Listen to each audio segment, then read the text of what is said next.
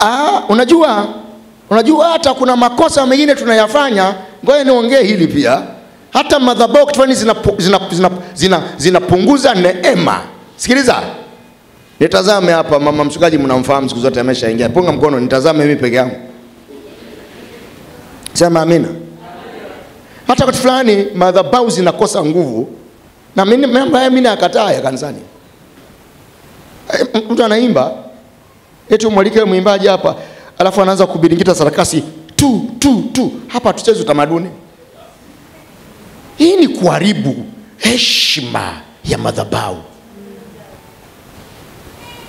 Kuna maprofession saizi wanacheza mi, mi, mi, mi, mi, mi, mi step saizi mingine ni ya kipagani kabisa kabisa kabisa, inatoa kuna- kuna moja inacheza ina, ina, ina, inacheza hivi afu wana makalio makubwa maumbo wanafanya hivyo wanafanyia wanaume hivi. Wanaume na wana, wanakwepa hivi. Yani, yani,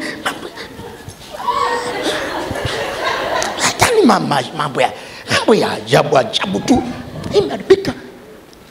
Eti wanajifunza South Africa, unajifunza kwa wazungu, mi najifunza kwa Kristo, mi najifunza kwa Kristo.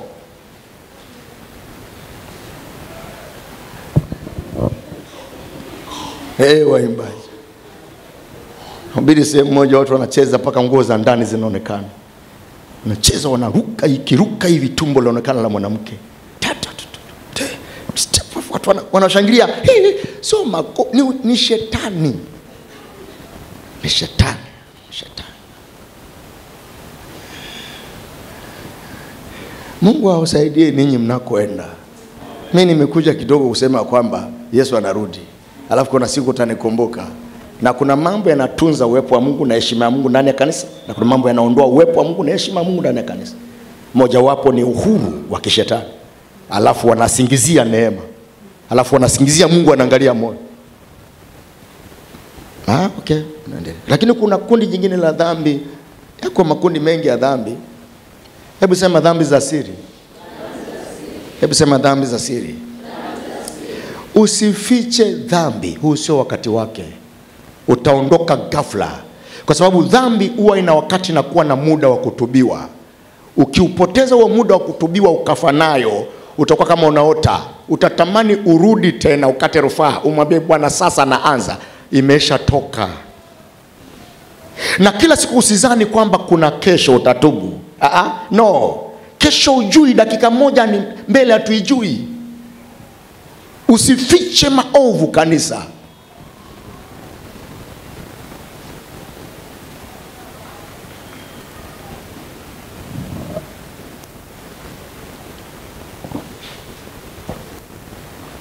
Okay sasa leo tunaanza kujifunza kidogo kwa habari ya roho mtakatifu.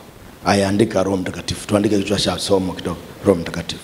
Maana usije ukaondoka ukasema toka ameanza hatujawahi kuambiwa kichwa ni mtu anaendelea tu. Utakuwa ni mnafiki. Andika kichwa sasa. Tunajifunza kwa habari ya roho mtakatifu. Unajua unajua kitu kinachoharibu kanisa sasa hivi pia kingine ni nini? Kinachoharibu kanisa si hizi taratibu zetu zimekuwa nyingi kanisani. Hatumwachii roho mtakatifu nafasi. Mi kanisani kwa kweli huwa sitakagi mtu aniongoze anavyotaka nataka mungu asemaje kwa kuna wakati huwa kuna siku moja bwana tumeanza kuabudu bwana. Wakaabudu praise team na mimi nikapokea bwana. Nikaimbisha kuabudu bwana. Moto ukawaka. Watu wakajaa roho mtakatifu kuwazima imeshindikana. Mpaka masaa yanaisha ibada watu wananena. Unaishia kutaka kusema tu tufunge sasa tuende nyumbani. Nikaitwa watu wanataka kuokoka. Walikuja karibu kumi na mbili sikusoma bibilia walitoka watu walienda kuandamana huko. Wanasema ni imani potofu. Akusoma bibilia kama sikusoma bibilia wale watu waliokokaje? Ujue roho mtakatifu aliwahudumia. Sasa makanisa ya sasa hivi na utaratibu nyingi asimame fulani. Naye anasimama. Naye ana anaporoja za kwake. Zinakuja. Anakuja. Jamani sasa tunamkaribisha naye fulani hapa. Anakuja naye. Analeta mambo ya kwa mke wake huko. Naye baadaye zinabaki taka kumi. Jamani na mtumishi wa Mungu naye asimame sasa yani ni shida Roho Mtakatifu ana, ana mambo yake. Kuna wakati unaweza ukazani unaanza na neno, kumbe unaanza na sifa, kumbe unatakiwa uanze na neno. Nafanya masiara, kanisa ni lake. Kuna wakati matangazo anatakiwa asitajwe kabisa, yaani anahudumia watu mpaka na matangazo anatangazia mwenyewe, anaenda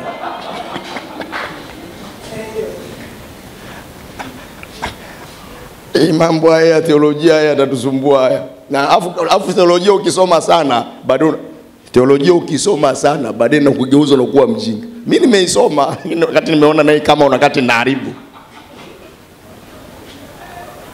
Na watu wengi sana waliosoma theolojia sana, hata ukiangalia utendaji wao wa kiroho kuna wakati wao wanapungua.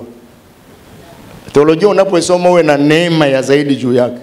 Unaweza ukaenda kuisoma kesha kuwa mpagani na tunakoelekea huku theolojia zitawasaidia watu, ile itawasaidia neema na nguvu za Roho Mtakatifu, alafu theolojia inakuwa iko kidogo pale. Lakini lichukue zima zima, endelea nalo, lichukue la diploma, lichukue la degree kama mi, mi na, na nayo ya diploma nayo ya degree, nilichukue niende nalo hivi, nisinge hatafika pale nilipofikia saa nili, nimefikia pale nilipofika kwa sababu nilimwambia Roho Mtakatifu ni kanisa lako. Ndio maana sasa hizi nime- na katua hako ambacho kanaonekana sasa hizi tunaanzaanza huduma bado changa, lakini tunaonekana tunaelekea wapi?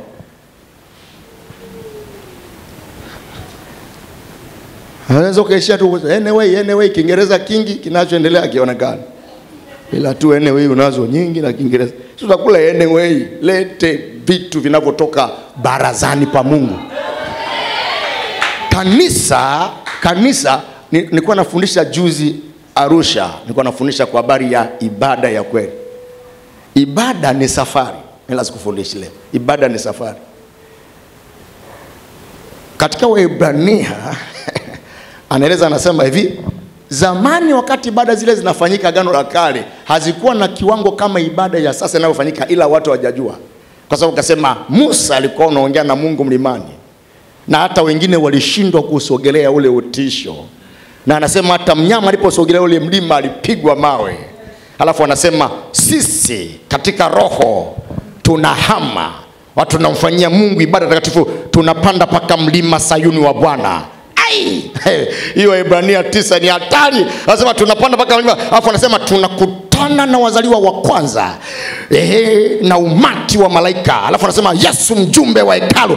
Yani ibada inatakiwa inafanyika, baadaye tunatoka hapa katika ulimwengu wa roho tunakwenda mbinguni, maana ndio kwetu. Kama wachawi wanavyoendaga kuzimu, ndivyo katika ulimwengu wa roho wa ibada, kila mtu anakata, alafu anaingia barazani. Ukiingia barazani, ukimwi unaisha, kisukari kinaisha, dhambi inaondoka, umehama. Hata ukikatwa kichwa ausikii. Ibada, my friend, ibada. Unafanya ibada hapo, kuna wasa maharage yanaungua. Wewe unajua ibada wewe? Ibada kuna unawaza maharage yanaungua. Ibada ibada una, ibada anasema anasema tuna sisi jamaa sisi ibada yetu ni bora afu anasema na Yesu mwenyewe mjumbe wa agano anakuwa katika hiyo ibada watu wameshaimba hapo wameanza na kuabudu maana ndiwe wanazidi kusafiri na kuabudu maana ndiwe ni wewe ni wewe bwana. Wakiwa wamejaa utakatifu wakati wanaimba wanachukua. Maana kuna mtunzi mmoja wa tenzi akiwa rohoni akatunga beti mmoja katika tenzi anasema wamsifu sifu sana mbinguni malaika wanachanganya nyimbo zao na waliokoka. Yani ibada ya kweli inapofanyika malaika nao wanaungana kuimba wimbo unaimbwa hapa. Nao wanaupokea. Alafu wanaondoka nao pamoja na nyie wanapaa nao.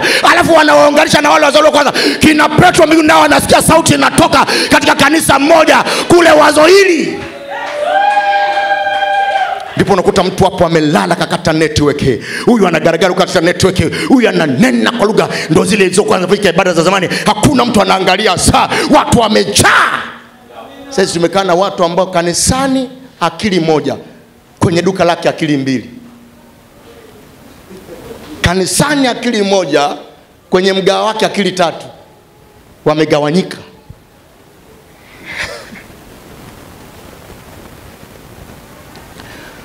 Andiko la kwanza samueli wa kwanza kumi. Msara wa kwanza na wa pili. Nisomee sasa. Ndio tunaanza. Maana utasema sikusoma neno mimi nakufahamu samueli wa kwanza kumi. Mstari wa kwanza na wa pili. Soma.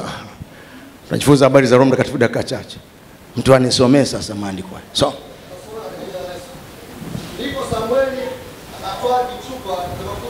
Ndipo Samueli akatoa kichupa cha mafuta. Akamimina kichwani pake, akambusu akasema, Je, Bwana akukutia mafuta uwe mkuu juu ya watu wake? Je, Bwana kukutia mafuta uwe mkuu juu ya watu wake, Nawe utamiliki watu wa Bwana, na kuokoa na mikono ya adui zao. kisha hii itakuwa ishara kwako ya kuwa Bwana ame- ame- amekutia mafuta ya kuwa Bwana amekutia mafuta uwe mkuu juu ya urithi wake. uwe mkuu juu ya urithi wake. Punga mkono hivi. Uko hapa mtu wa Mungu, nimefurahi kuona, afu nimeuona moyo wako. Kuna siku mimi nitarudi hapa, tutakaa wiki nzima, ila tukirudi tukirudi tutatangaza, tutakodi na mahema tutayaongezea hapo nje, kutakuwa kuna uamsho mkubwa.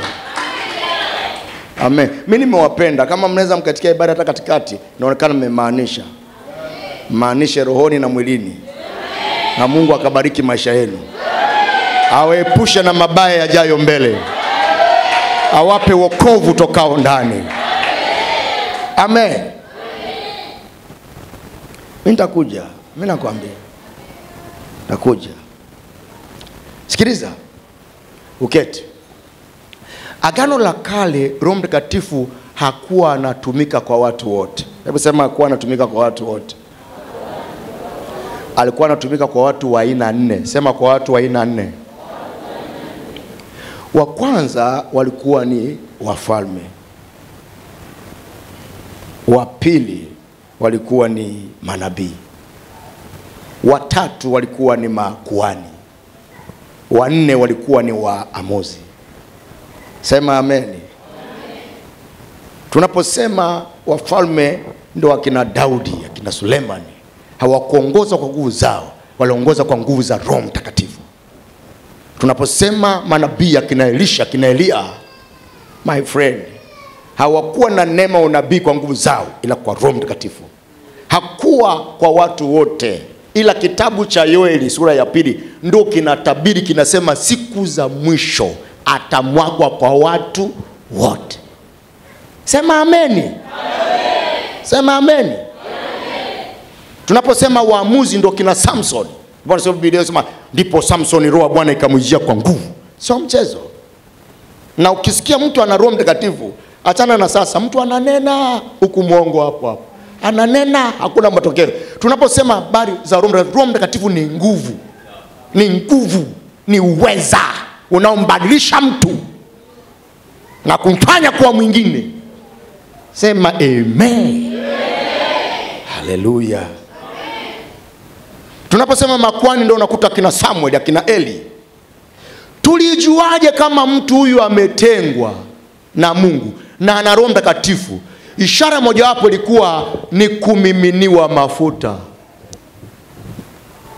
Lakini mafuta, andika, ni ishara ya nje, lakini kilichotakiwa ni Roho Mtakatifu na ndio maana Agano Jipya hawaongei sana kuhusu mafuta, ila Agano Jipya wanaongea zaidi kuhusu nguvu za Roho Mtakatifu, japokuwa na mafuta kuna sehemu yameandikwa.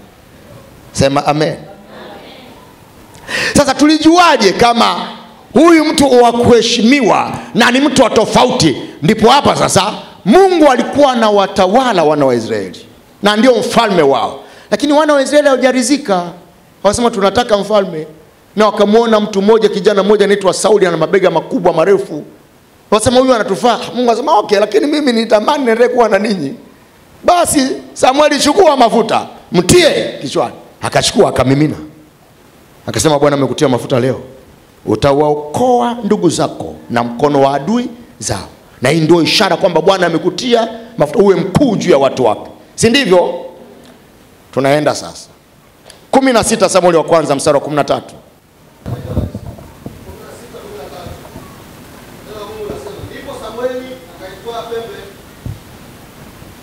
ndipo Samueli pembe yake ile mafuta, akamtia mafuta katika zake, na roho ya Bwana ikamjia Daudi kwa nguvu, tangu siku ile Hebu sema roho wa Bwana ikamjia Daudi kwa nguvu toka siku ile. Sauli akakiuka maagizo ya Mungu alikuwa mfalme. Mungu akasema sasa hivi namchagua mwenyewe sasa, ambaye tamtia mafuta mfalme wangu, ndo anamchagua Daudi. Safari hii ukumbuke, Sauli alitua mafuta kwenye chupa, lakini Daudi anatua mafuta kwenye nini? Pembe. Nako ni somo jingine la wiki nzima. Umeelewa? Hebu sema kuna mafuta kwenye chupa na kuna mafuta kwenye pembe.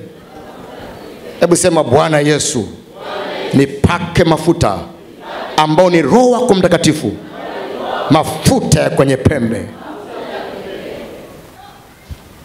Kanisa sasa, natoka kipindi kile Yesu alipotabiri linahitaji watu wajawe na Roho Mtakatifu isivyo kawaida, na si kunena, bali kunena na nguvu zake. Hebu sema kunena na nguvu zake. Juzi alikuwa ananifundisha, anasema ya kwamba kwa nini unapaswa kunena kwa lugha, kwa sababu Biblia, usiandike hiyo, sikiliza tu Wakorintho wanasema ni nani awezaye kujua roho ya mwanadamu? Nani awezaye kumjua mwanadamu? Ila ni mwanadamu, ni roho iliyoko ndani ya mwanadamu. Nani awezaye kumjua? Ila ni roho iliyoko ndani mwake. Alafu anasema ni nani kumjua Mungu? Ila ni roho ya Mungu iliyo ndani yake ndio inaweza kumjua. Yaani Yesu wawezi kumjua, ila Yesu aingie kwako kama roho, alafu ajitambulishe jinsi alivyo. Sema point. Sema point. Hebu sema mimi siwezi kumjua Yesu ila Yesu yeye aingie ndani mwangu, alafu ajitambulishe jinsi alivyo. Amen. Sasa akasema unatakiwa uombe kwa roho, kwa sababu wewe hujui siri za roho, hujui siri za Mungu, ila Roho Mtakatifu anajua siri zake. Na, na, na pia anajua siri za shetani, kwa anaweza kana kuombea mlengo ambao wewe haujaujua kabisa. Sababu so, wewe unaweza kuwa unapiga huku, kumbe adui yuko huku, tatatatata napiga huku. Tatata napiga. Yaani kuna wakati unaweza kuwa unaombea baraka, kumbe iko kisogoni hapa. Sasa watu wa Mungu, nataka nifundishe kazi ya Roho Mtakatifu. Natamani ibada hii ya jioni, Bwana kujaze nguvu za Roho Mtakatifu. Sema amen, amen. Namba moja, kazi ya Roho Mtakatifu, mtu yote aliyojaa Roho Mtakatifu ni ili awatetee ndugu zake na mikono ya adui. Yaani mtu anapookoka haokoki kwa, kwa ajili yake binafsi, bali anapata neema ya kuwatetea na ndugu zake. Sema amina kwa nguvu. Na leo pokee neema ya kumtetea na mama yako na baba yako, upokee neema kulitetea taifa hili. Mbona kama watu wengine wabishi kidogo? Sema amina. Unajua, ukija kanisani usiwe unafanya mgomo ni hatari kuwepo kanisani alafu unafanya mgomo, ni hatari sana. Yaani unafanya mgomo mbele za Mungu, ni hatari sana. Mungu anamwambia Samuel, ambia Samuel tia mafuta, alafu mwambie sasa. Samuel kata anatia mafuta, anasema Bwana amekutia mafuta leo, uwatetee ndugu zako na mkono wa adui. Yoyote aliyeokoka aliyejawa na Mtakatifu ana uwezo wa kuomba mpaka mama yake akapona ana uwezo wa kuomba mpaka baba yake akaacha ulevi, ana uwezo wa kuomba mpaka mtoto wake akamrejea. Maana kazi ya mafuta ambayo ni Roho Mtakatifu namba moja ni kuwatetea ndugu na mikono ya adui. Sema leo nitapokea neema hiyo. Yaani ni nguvu, sio kunena kwa lugha, yani ni zaidi ya kunena, yani ni nguvu inayokuingia mpaka una uwezo wa kusema, mwanangu mvuta bangi, ninakuita huko uliko, utoka katika ulevi wako, uiache hiyo tabia. Bwana kwa ile upako na ile mafuta anaacha. Sema amen. Lakini kazi ya pili ya Roho Mtakatifu ni kuangusha mizigo, ni kuangusha mizigo. Mizigo ni mingi, tumebebeshwa. Uvimbe ni mzigo, kansa ni mzigo, kisukari ni mzigo, ukimwi ni mzigo, mafarakano ni mzigo, mizigo. Wakati Roho Mtakatifu anaposhuka, Yesu alifundisha hivi. Kuna somo moja huwa anafundisha nilikuwa nafundisha mahali, wakati nafundisha watu walianza kukimbia kutoka kanisani, geti lilikuwa liko wazi. nilikuwa nafundisha kwa habari ya ufalme wa mungu uje unapoongelea ufalme wa mungu unaongelea serikali ya mungu kushuka na utendaji wake kwenye maisha ya mtu. Sio mchezo. Yesu asema mnaomba semeni ufalme wako ni mamlaka ni serikali ni uwezo. Unashuka. una- sasa roho mtakatifu anaposhuka ndani ya mtu lazima panya anayeitwa mchawi pepo majine vidudududu ndani wakati anashuka roho mtakatifu anaingia hauhitaji kuwekewa mkono vyenyewe huwa vinaaga sema emeri ndugu wananchi tunaelewana?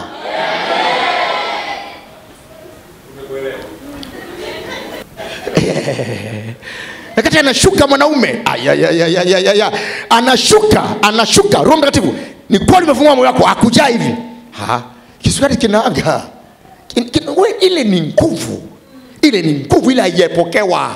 Haijapokewa kwa moyo wa imani haijapokewa kwa moyo uliofunguka lakini roho mtakatifu ni mungu ni nguvu ni uweza ni uponyaji ni mamlaka ni baraka ni wokovu. Anaposhuka my friend ni tetemeko.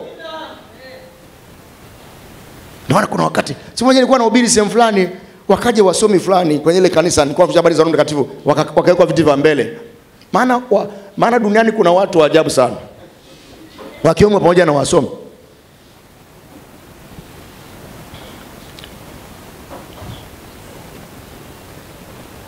kwanza wasomi wengi wao wanadharau sana japokuwa wenyewe wapendi kudharauliwa.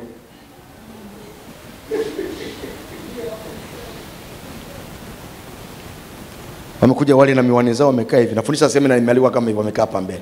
Walivyoambiwa salimia kanisa sikuwa bado sijakaribishwa kuhubiri. Wanasema hapana sema uh, naitwa fulani ndo niko mwaka wangu wa tatu university hapo. Sisi hatujakuuliza um, tumeambiwa usalimie. Hatujakuuliza masuala ya uko wapi na wamefanya nini ni vituko hivi.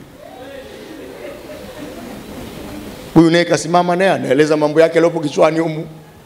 Ngoja niwaambie biblia hata inaposema mtafute sana elimu huwa aiongelee elimu hii watu wanaoijua anaongelea elimu ya mungu.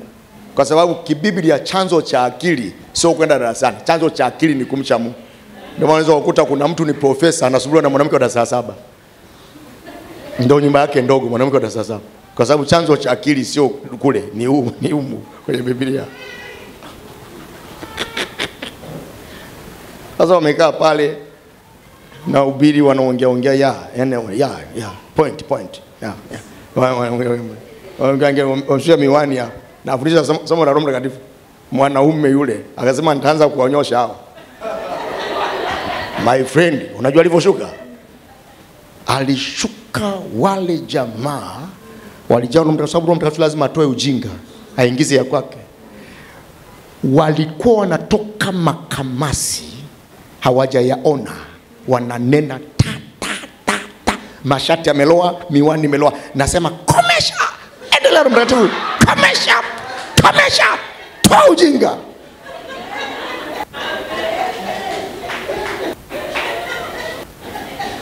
kwani ilivyoisha kulikuwa tena kuna cha anyway sijui you know, you know, you know what? You know ushakutana na, na aliye kuanzishia lugha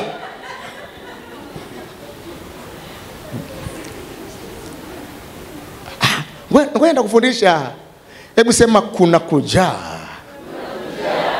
kuna kufurika, kuna kuogelea. Rimo shikete. Ai! Eyo mokotashi, kuna kujaa, kuna kufurika, kuna kuogelea. Siku ya Pentekoste waliogelea, walivyoogelea, oh haleluya! Hebu sema kuna kujaa, kuna kufurika, kuna kuogelea. Mara pili sema kuna kujaa, kuna kufurika roho, kuna kuogelea. Siku ya Pentekoste hawakujaa, waliogelea.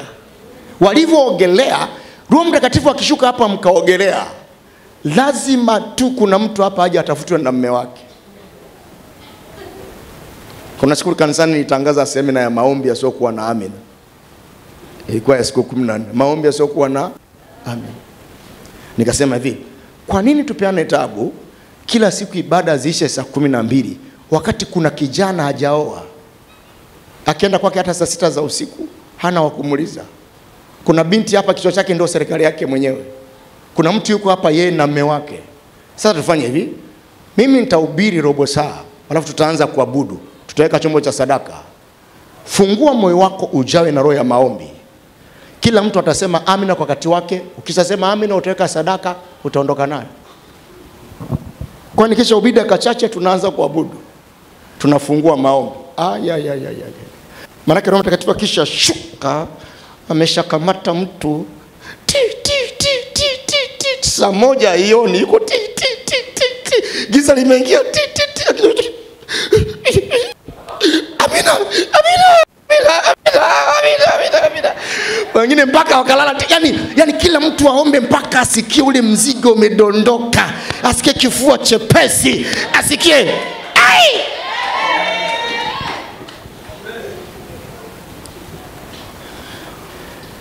majamaa yalijawa yalifurika.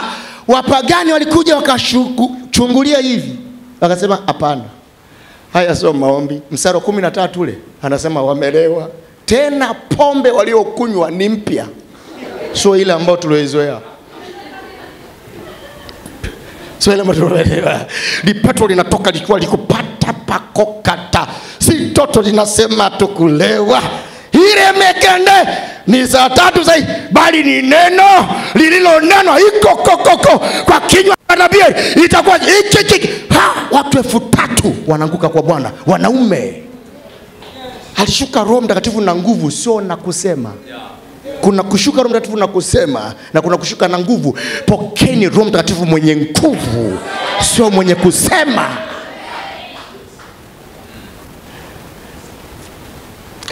sasa, isaya ile kumi maana kwanza tumetoka tumeona kwamba kwa habari ile ya, ya isaya ile kumi ama Samu- samuel kwanza kumi ambao anapakawa sauli mafuta. Lakini samuel kwanza kumi na sita kumi na tatu daudi anapakawa mafuta ya kwenye pembe. Manake ni nini pia? Manake daudi ni chaguo la mungu na sauli ni chaguo la wanadamu. Ndio maana ya pembe pia. Japokuwa pembe ina somo jingine unafundisha wiki nzima. Pembe. Bili nasema yesu ni pembe ya okovu wetu pembe ni ufalme ni mamlaka ni nguvu ni utawala ni uweza. Maana mafuta aliyopakwa daudi sio ya kawaida.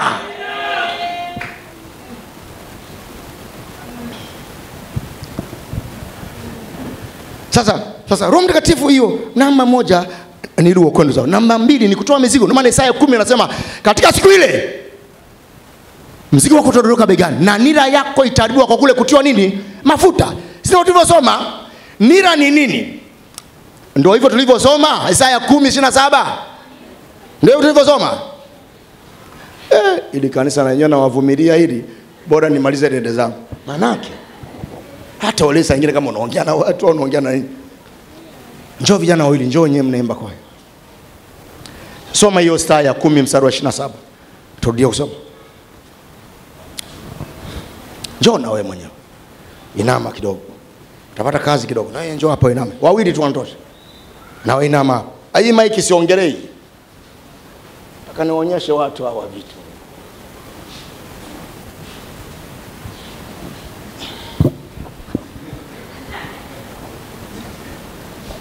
Angalia tu isikunyonge maana inama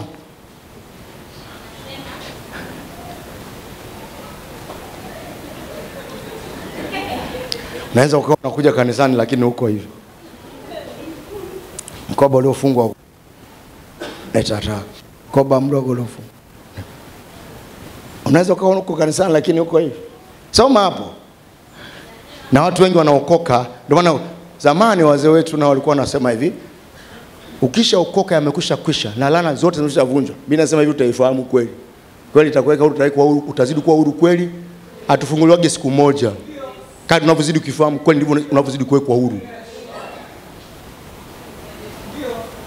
Sala ya toba umeshapata kitambulisho cha kwenda mbinguni. Hata tu utakaso kwenyewe bado. Maana utakaso ni operation ya kuharibu dhambi kao ndani ya mtu. Ndio maana sasa tuna watu wengi wameokoka lakini hawajatakaswa. Umeokoka mbea kuliko hata wambea wenyewe walioko nje. Ila sala ya toba tulikupa na tunakuvumilia. Na kanisa ni lazima tuvumiliane maanake hamna namna maana ujui saa nyingine mtu atabadilika saa ngapi japokuwa ukiendelea na madhaifu yako yaliyoko wazi tunakutenga vile vile. Kuna watu wengi wameokoka, wameingia kanisani na mizigo iko mingi. Sasa sema, soma hapo sasa Isaya kumi sina shaba. Nira, kwanza ngoja nitafsiri nira ndio usome. Nira, umewahi kuona wale ng'ombe wawili wanaolima? Huwa wanakuwa na kitu kiko hapa. Biblia inasema hizi usifungiwe nira na mtu wa... Manake nini? Manake wewe kuona simba analima na ng'ombe. Tunapowaambia mabinti tafuta mwenzako aliyeokoka ulio naye, maanake ni kwamba usije ukaja ukavutwa kwenye hiyo cheni na wewe siku moja ukaenda ba maana ni kifungo kile, ni agano lile, ni patano lile, ni upendo ule. Sasa kuna nira, kuna nira katika ulimwengu wa roho, kuna nira. Nilikuwa naombea Bukoba, watu wa Mungu, mimi nawaambia mtavumilia hivyo, sababu mimi mwenyewe navumilia hapa. Sio nikwambie, sio nikwambie. Nilikuwa nahubiri Morogoro, dada mmoja akazimia, akachelewa sana kuamka, nikasubiri mpaka akamka. Nikamuuliza, wewe kuna nini? Mbona umechelewa sana kuamka hapa? Akasema, mchungaji, wakati nimeanguka nilichukuliwa nikapelekwa kwetu Moshi vijijini nimepelekwa na mtu mmoja ni, ni kama mfano wa malaika wamevaa nguo nyeupe. Wakanionyesha yule mwanamke ameolewa kwenye ndoa lakini hapati mtoto. Kwa yule malaika akamwonyesha mgomba. Mgomba umefungwa gunzi na kamba. Akamwambia mgomba ndo wewe na ili gunzi ndo tumbo lako. Ili uzae lazima ili gunzi likatike. Maanake ni nini? Maanake kuna mtu alienda akasema sitamani huyu mwanamke azae. Akachukua gunzi akaliweka kwa mganga kienyeji. Haya ndio manira kuna manira mengi ambayo hayaonekani kwa macho. Vifungo mbalimbali ambavyo watu wanafungwa lakini wana mizigo ambayo ni magonjwa ni mateso. Ndio biblia inasemaje? Hiyo soma. Tena itakuwa katika siku ya leo. Siku siku hiyo ni siku ya leo. Endelea. Mzigo wake shetani huu hapa. Utaondoka begani mwako na nira yake shingoni mwako, nayo nira itaharibiwa. Kwa sababu kutiwa mafuta. Wakati tunaenda kufungua mioyo yetu leo roho mtakatifu atujae. Wakati anatujaa anashuka anashuka. Mizigo we inaanguka. Alafu hii nira inafunguka. Alafu mtu anasema niko huru.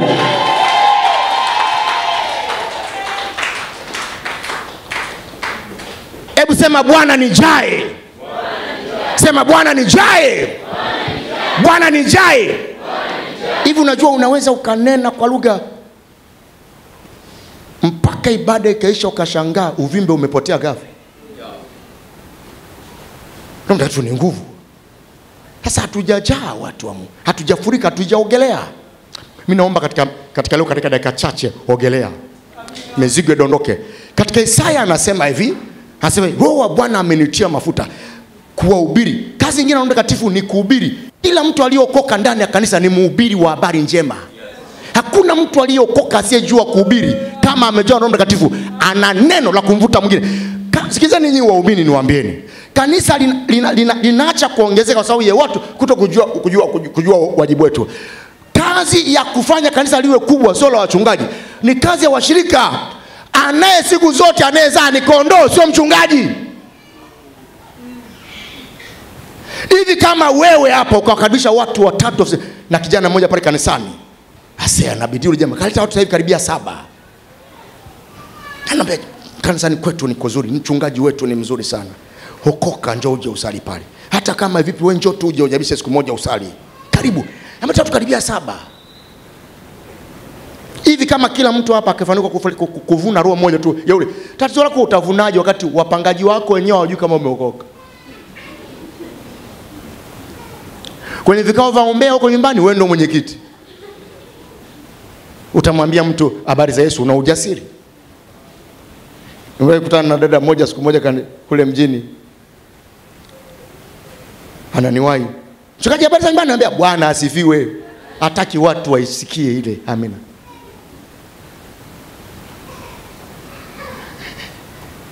Basi. Utakuja kuwa na kanisa kubwa mungu akujalie msafara wa mamba kenge wakosekani na kenge na mamba afu ukiangalia kama wanafanana fanana lakini ni watu wawili tofauti ni wadudu wawili tofauti Mimi nachunga kanisa pale na nawaambia kanisani kwamba watu wa Mungu hapa tunavumiliana, japokuwa tunaumizana, lakini tuendelee kuvumiliana hivyo hivyo. Kuna watu wengine nachunga mule ni maninja, yani ni maninja. Lakini Yesu, sikiza nikwambie, Yesu kwa sababu utatoa hesabu ya maninja na hesabu ya, ya kondoo wa walali. Wote uta- utaelezea. Yesu alivyomaliza kazi alitoa hesabu, anasema Baba, kondoo wote ulionipa ni- ila kasoro huyu mmoja, naye ana- anamwelezea. Naye anamwelezea. Yesu mwenyewe naye alikuwa na ninja, naye anamwelezea kwamba wote hawa ni mwaleta, lakini mmoja imeshindikana, maana alikuwa ni shetani fulu.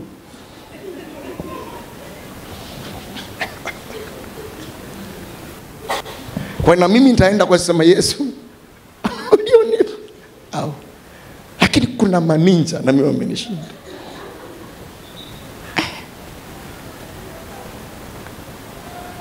na anaweza kumfanya mtu kumnidhamisha katika wokovu. Niwaambie leo, ukitaka uwe una adabu na discipline katika wokovu, jawa na nguvu za Roho Mtakatifu, sababu Roho Mtakatifu huwa ananidhamisha, anatia adabu, anatia discipline.